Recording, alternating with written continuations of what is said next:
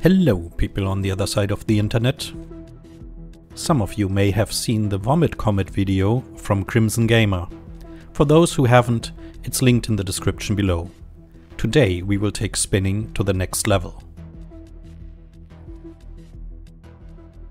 If you have seen the latest Boonlabs video, you might also understand that I have developed a bit of love for the force shell effect engineered on cannons.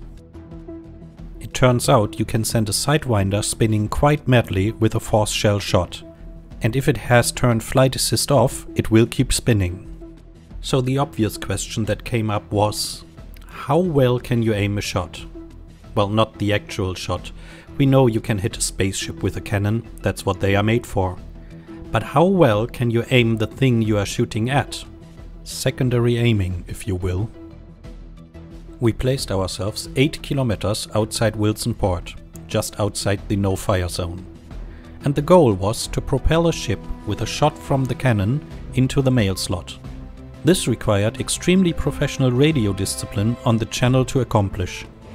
Oh, you turned Oh. on thrusters. Oh, I don't. Shit. Oh!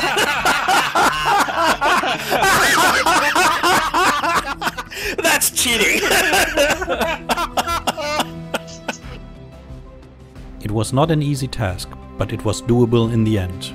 We also tried different types of small ships, and even a dolphin could be pushed in there. And in the course, we also learned that ships spin less wildly the more mass they have. So there you go. We have a task for teams of two pilots. Who gets the biggest ship pushed into a station this way? Please link footage in the comments if you try this yourselves. I hope you enjoyed this video. Subscribe, blah blah, thumbs up, yada yada, you know the drill.